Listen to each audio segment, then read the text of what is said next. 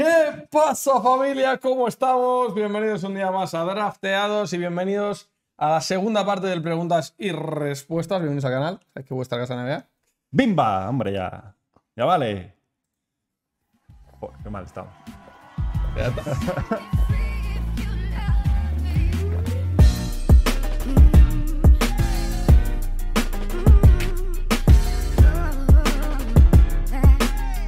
No me va a quitar esta camiseta nadie nunca. La voy a llevar puesta dos semanas. Es un nuevo récord Guinness, precioso. Vale. Y nos hemos comprado más cosas, ¿eh? Sí, sí. Nos hemos comprado más cosas en este viaje a Estados Sí, Unidos. sí. La semana que viene, Bueno, sin, te- te sin diré ir más. lejos. Yo me, me compré tres cosas de Miami y tres cosas de Denver. Aposta. Para No. 3 y 3. No, no aposta porque de hecho me había comprado dos de Denver, la otra fue en el aeropuerto de última hora. O sea, ¿Has encontrado la prenda perdida, pero la has buscado? Vale, búscala. voy a buscarla. Os podéis suscribir al canal. Amigos, seguimos creciendo, la familia sigue y quedan muchos éxitos por conseguir todos juntos, Sí. que esto es precioso. Y vamos a empezar con Ferru, que dice, ¿cuánto os ha decepcionado Butler en estas finales? ¡Oh! A mí la verdad que un poco después de lo que nos tenía acostumbrados en la primera ronda, sobre todo. Hombre, ha sido decepcionante. Ha sido decepcionante. Los números de la serie ahora mismo no los sé, pero son muy malos. Y más allá de los números, no se le ha visto dominar los partidos como sí que se le ha visto en otras series y como hemos hablado siempre de playoffs Jimmy, en el sentido de coger las riendas del partido y dirigir. ¿no? Voy a meter esta canasta desde aquí, tiene sus sitios, tiene sus momentos y no le hemos visto nada cómodo a este nivel. Una parte del mérito la tiene Denver 100% en la defensa. Sabéis que Aaron Gordo le ha defendido en muchos tramos. Ha hecho muy buen trabajo, pero en general el equipo Se habla, ha poco, se habla poco de lo bien que ha defendido Jokic, tío, durante la serie, ¿eh? Sí, ha defendido muy bien, tío. La defensa interior de Jokic, incluso en momentos en los que tenía faltas y tal, ha estado bastante, defendido. bastante bien, sí, sí. Eh, yo aquí quería hacer una reflexión. Te, te digo los números rápido. Dime los números. 21,6 puntos, 4,6 rebotes, 6,4 asistencias, 41% en tiro de campo, 36% en triple porque le suman los, los últimos ahí. En... Los dos que metió, ¿no? Sí, sí. Esos son los números de Butler, que bueno, viniendo de donde venía sobre todo, pues hombre, 21 puntos con un 41 en tiro de campo no son buenos números para una final de la NBA, claro. No son nada buenos. Yo tengo dos reflexiones. A uno, malas finales. Sigo pensando que hay algo físico, pero nadie lo dice. Igual no hay nada físico, ¿eh? Y simplemente No ha sido ni No ha siquiera estado bien, o sea- no, no ha sido ni siquiera el máximo anotador del equipo, ¿eh? ha sido Adebayo Claro. las finales. Es que Adebayo ha estado mucho más agresivo y mucho mejor en general. Yo creo que hay una cosa, tío, que ahora que hemos estado en Estados Unidos viendo programas, viendo cosas, temas de narrativas y tal, hay una parte injusta y que nosotros alimentamos muchas veces también, porque al final hablamos aquí de todo, de que o sea, el titular es ni tanto ni tan calvo, ¿sabes? O sea, ahora Jokic es la leche y Yanis es una mierda. No, eh, pero eso no es así. o sea, no es así, pero que cuando ganó Yanis es tremendo y ahora que gana Jokic... Pero pues- esto te lo dije el otro día, tío, que yo creo que el otro día lo hablamos, esto hace no mucho, ¿no? Que, que los de élite, esto lo dije ahí el otro día, que son como siete o los que y sean. que se van turnando. y que ¿no? se van turnando arriba. O sea, Sí, que quererlos sí, poner a uno por encima de otro, pues es cosa del momento. Depende del año. Ahora para todo el mundo es Jokic, indudablemente el, el mejor, jugador, de la mundo. historia. de la Bueno, historia. eh, o sea, sí, ahora mismo sí, pero forma parte de ese grupo de seis o siete en el que pues, cada día es uno o es otro dependiendo de lo que hayan hecho. Sí. ¿no? Entonces, ha habido años que, pues eso, después del año de Kawhi de 2019, pues Kawhi, playoffs Kawhi es el mejor. A Butler le hemos visto en momentos muy gordos, entonces ya tienes una expectativa muy alta. Eh, después de lo que ha hecho estas finales, pues efectivamente te quedas muy frío. Te quedas te- frío. por- porque le has visto hacer otras cosas a gran nivel y te quedas muy frío. Ahora, yo insisto, ni tanto ni tan calvo. Yo, yo pienso, y de verdad estoy bastante convencido de que ha tenido algo físico que no le ha hecho poder estar a tope, porque yo cuando le he visto jugar bien físicamente, creo que hace cosas que aquí no ha hecho, de, de eso, de, de atacar más, de ser más agresivo y demás. Yo creo que le ha molestado mucho la envergadura de los Nuggets también, ¿eh? O sea, los Nuggets es un equipo ser. más grande, más largo, más tal, y yo creo que le ha molestado mucho porque si os fijáis, tanto él como Adebayo, lo hemos hablado mucho durante la serie, han fallado un montón de tiros muy cerca del aro. Un montón de tiros. O sea, Adebayo acaba la serie con un, 50 con un 45% en tiro, que es un porcentaje malo para un jugador interior y, y para un jugador como él. Y Butler con un 41. Son Butler porcentajes, mucho, tío. son porcentajes muy malos, eh, muchas veces en tiros cortos. fáciles de los que ellos tienen que tirar todo el rato. Tú lo decías muchas veces, que le faltaban piernas. Sí, a sí, Que se le quedaban 100%. cortos los tiros. Ha habido algo ahí extraño. Sí. Pero ha sido Pero una sí, sí, excepción. ha sido o sea, Clarísimo, ¿no? 100% decepcionante la actuación de Jimmy Butler en las finales. Eso no hay, no hay tu tía. Sí. Jaime Zapa, buenos días, buques. ¿Qué ciudad disfrutasteis más en estas finales? ¿Denver o Miami? Y puestos a elegir para las finales del próximo año, ¿qué ciudades os gustaría visitar? Un saludo, máquinas. Miami hemos disfrutado mucho. ¿eh? O sea, Denver hemos disfrutado porque era todo nuevo y. ¿no? Es que y son- eran finales y tal. Pero, pero Miami lo hemos disfrutado mucho. Es Albacete y Barcelona. Lo, lo único, lo único mejor Sin en ningún- Denver que en Miami es el tiempo. Sí, o sea, en Miami está esta humedad, Miami hace un calor, tío. este clima tropical que. Y encima llueve. un poco. Encima llueve todo el rato. Temporada de lluvias. No sabes, claro, hemos ido justo en temporada de lluvias y tal. Y no sabes, sea, hace sol y sales a la calle y de repente te cae encima lo más grande y, y luego se va. Sí. luego se va. O sea, es difícil. El, el clima, yo he preferido Denver porque en general siempre me gusta más clima de sudadera que, Sí, en Denver se estaba muy a gusto. que verano 100%. Pero bueno, como ciudad te ofrece mucho más Miami. Sí. Es mucho más gran ciudad. si, te, si te dieran a elegir, o sea, a ver, primero, ojalá, ojalá, ojalá podamos repetir el año que viene. Ojalá. No se sabe. No demos por hecho es las muy cosas. difícil. Este año se ha conseguido. Veremos el año que viene. O sea, son cada. Steps to success. Step to success, ¿eh? Step to success. Eh, si, si te dieran a elegir ciudades para unas finales, A mí San Francisco me apetece mucho volver. yo no he ido nunca. o Y sea que me apetece. además, ahora que el pabellón está en la ciudad, yo creo que tiene que molar mucho más. Porque antes estaba en Oakland y, Boston nos apetecía mucho, ¿eh? y Boston. Sí, Boston nos apetecía mucho este año. Chicago es una ciudad que tengo muchas ganas de ir, pero Está complicado, ¿no? está difícil ahora mismo. Sí, O sea, un Boston, la- las del año anterior, eh, estarían muy guapas. sí, esas estarían bastante bien. Pero bueno, no me importaría repetir Los Ángeles, no me importaría Nueva York en ningún caso, no me importaría. ¿Qué más ciudades así? Filadelfia, mm, no me han hablado mal. No. No estaría mal. Del oeste. No sé qué ciudades así. Poco más, yo creo, ¿eh? Sí. Poco más. De las que están ahí A ver, to- con opciones. todas, todos, todo es un planazo porque todos son experiencias nuevas. Entonces, todo es la leche. Eso es lo que mola eh, de las finales y del All-Star, que cada año no es que vayas siempre al mismo sitio. Todo el rato son experiencias nuevas, sitios nuevos. Entonces todo mola mucho, pero evidentemente, pues si se pudiera elegir, pues alguna de estas ciudades que hemos dicho. Atlanta mí me han hablado bastante bien, Mm. por ejemplo. Eh, una cosa que nos han dicho a evitar, ya sabéis lo que va a pasar. Voy a decir esto y acto seguido va a pasar esto el año que viene. Una cosa que nos han dicho a evitar es Phoenix en las finales. Pues sí. puede Porque pasar nos han dicho que es. O sea, que no se puede salir a la calle. De calor, sí, sí. Que es una cosa terrible. Enhorabuena a los Phoenix Suns. Enhorabuena a los Phoenix Suns por llegar a las temporada finales 23-24. de 2024. Exitazo. Enhorabuena. Mario Álvarez, buenas usabuques. Dos preguntas. ¿Iréis a The Sanctuary este año? Dos. ¿Creéis posible que si Portland draftea con el 3, Lillard se acabará yendo? Hay que decir que Sanctuary, ya sabéis que es el proyecto en el que, por suerte, pudimos estar el año pasado, que es un proyecto en Málaga al que va la asociación de jugadores, al que, bueno, un proyecto en el que pasan un montón de cosas, Pero entre ellas Pero es un proyecto de la asociación de jugadores. O sea, lo de The Sanctuary es, un, es, un es el proyecto de Málaga de la asociación de jugadores asociación de con jugadores, The Embassy, con que The es Embassy. una instalación que está allí, que es brutal, que ya fuimos. Sabéis que hemos hecho vídeos allí con Calde jugando a concurso de triples, donde se le ganó, vamos a decirlo todo. Y luego estuvo Sergio con Jalen Brown, con Sabonis allí. El año pasado, Eh, sí. La Con intención, Quickly, con Ozuna. la intención es ir. La este intención año. es ir, sí, no sabemos todavía. Bueno, de hecho, estuvimos hablando ayer.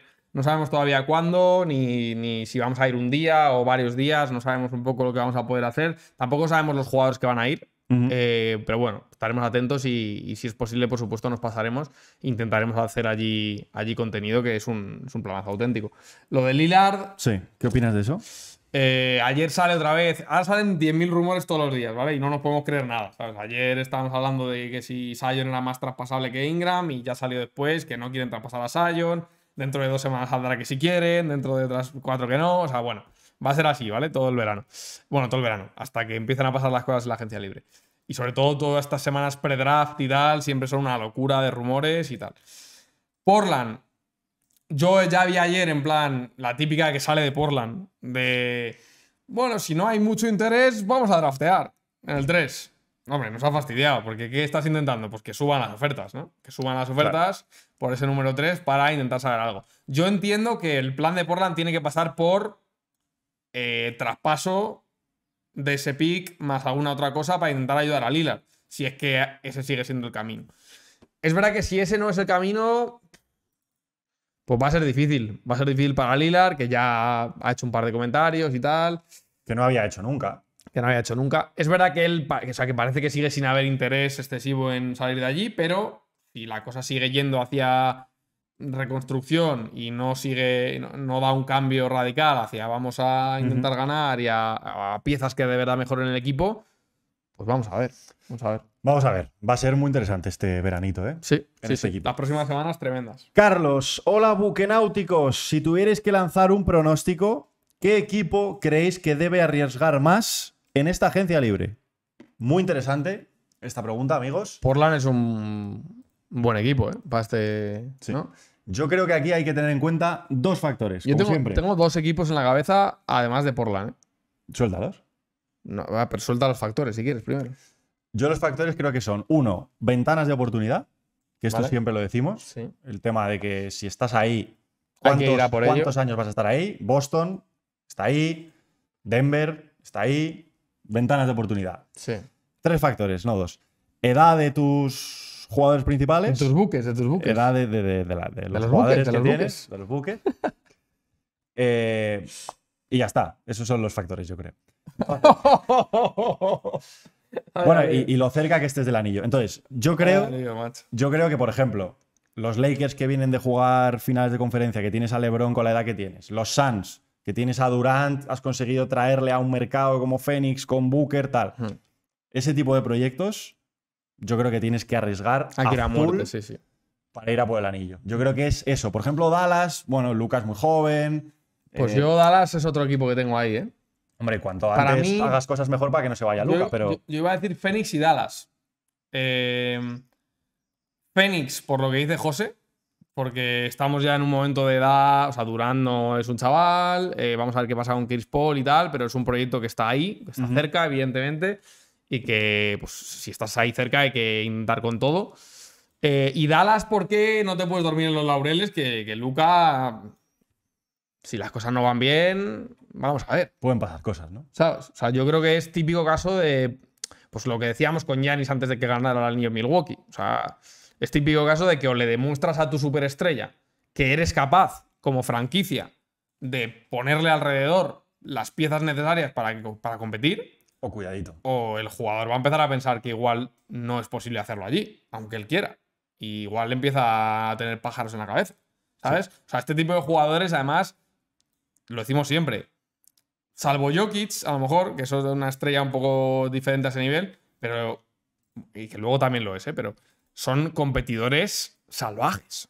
O sea, a, a Luka Doncic, a Devin Booker, a Giannis Antetokounmpo o sea, ver los partidos de las finales desde casa no les hace ninguna gracia.